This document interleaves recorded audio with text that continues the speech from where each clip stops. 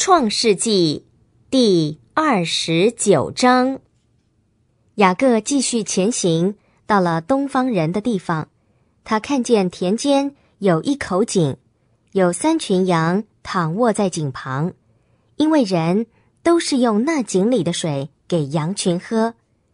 井口上有一块大石头，当所有羊群都到齐了，牧人就把井口的石头滚开。取水给羊群喝，然后把石头放回井口原处。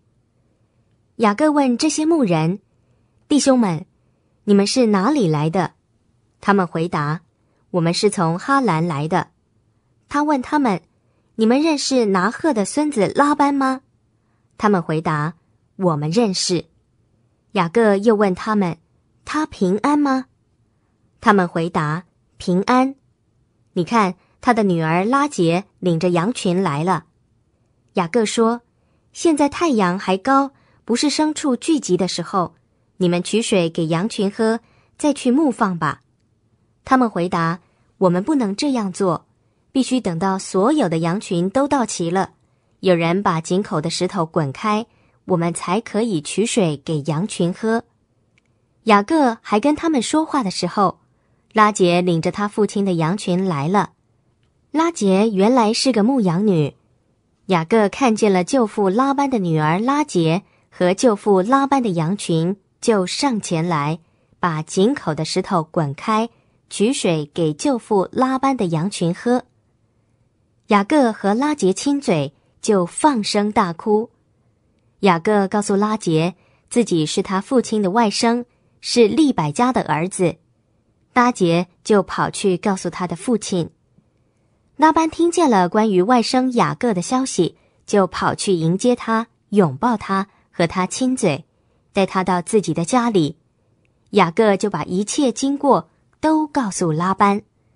拉班对雅各说：“你实在是我的骨肉。”雅各就与拉班同住了一个月。拉班对雅各说：“你因为是我的外甥。”就要白白的服侍我吗？告诉我你要什么报酬？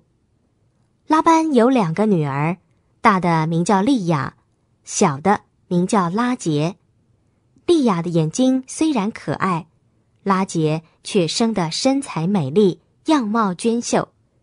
雅各爱拉杰，所以对拉班说：“我愿为你的小女儿拉杰服侍你七年。”拉班说。我把它给你，比给别人更好，你就与我同住吧。